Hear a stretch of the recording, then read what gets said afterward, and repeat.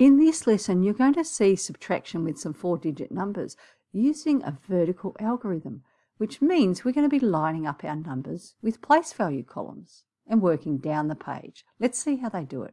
What do you get when you evaluate 3,752 minus 1,531?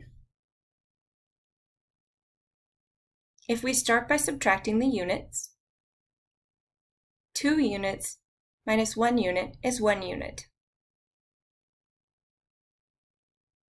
Now we have 5 tens, but we want to take away 3 tens.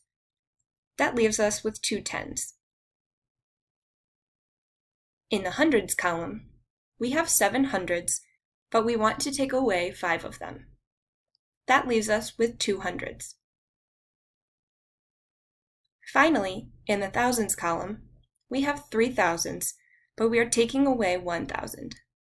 That leaves us with 2,000, for a difference of 2,221.